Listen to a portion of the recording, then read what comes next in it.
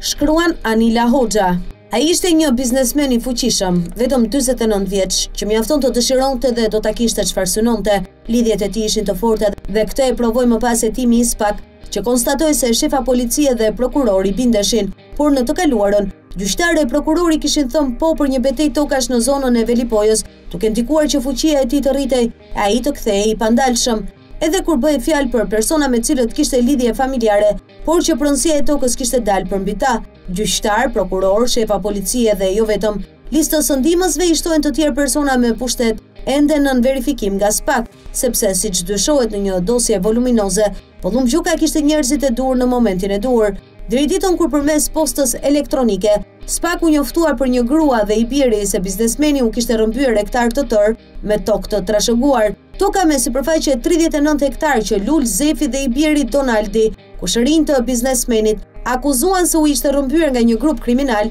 Ishte kallëzuar më herët në Prokurorinë e Shkodrës për dyshimet e falsifikimit të dokumenteve. Ata kishin insistuar për një kohë të gjatë se nuk pati asnjë akt dhurimi toke nga e moshuara Drande Hotaj, e cila rezultonte prej një mijë e nëntëqind e tridhjetë e tetës si pronare e tokës. Por hetimet nuk rrodhën në drejtimin e duhur. Dy prokurorë në këtë qytet Vlerësuan se çështja ishte parashkruar e duhej pushuar, por familja Zefi, që kishte provuar shtetin dhe gjyqësorin ndër vite me një seri gjyqtarësh që nuk iu dhanë të drejtë, e provuan sërish edhe në Gjykatën e Lartë. Sipas një vendimi, rezulton se Lule Zefi përfundoi në Gjykatën e Lartë duke kundërshtuar aktin e dhurimit të tokave nga e ëma, e ndjera Drande Hotaj, duke kërkuar pavlefshmëri absolute në këtë vendim, Ata akuzojnë për kërcënime dhe përmendin emrin e Pëllumb Gjokës. Kontrata e dhurimit numër gjashtë mijë e pesëqind e tetëdhjetë e tre, dy mijë e katërqind e tetëdhjetë e një, datë njëzet e nëntë gusht dy mijë e shtatëmbëdhjetë, mes nënës Drande Hotaj dhe shtetasit Kolë Gjoka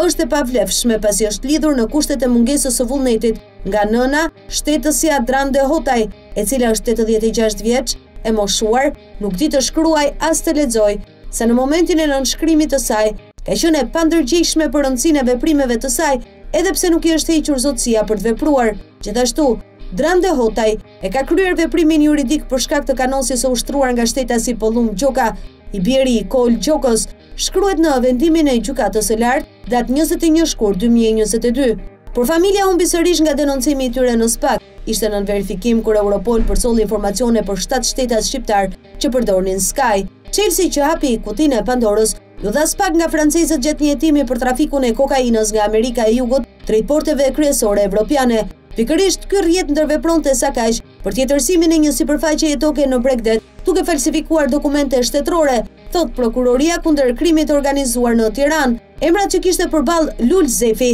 një grua e panjohur nga Kurbini që në dy mijë e shtatëmbëdhjetë ishte sulmuar me armë dhe i kishte shpëtuar një atentati, ngjarje për cilën autori u dënua për kanosje dhe armbajtje, ishin të paprekshëm. Sky në këtë rast ishte filli i Arianës që nxori nga labirinthi, drejtësinë e cila ka mënduar deri më tani. Skenarë krimesh të ndodhura nga vrasës me pagesë shqiptarë dhe të huaj, krime makabre të kryera duke prerë në besë miqtë, hakmarrje të përgjakshme, një polici të dështuar që nuk gjurmonte të kërkuarit, vrasës të egër, të korruptuar, prokurorë e zyrtarë policie që funksiononin për njerëz të botës së krimit si Behar Bajri, Ervis Martini, prokurori mëson njerëzit që sa për sy e faqe i heton se duhet ta shtyjnë gjyqin, por që në Sky me kodin MHSE7L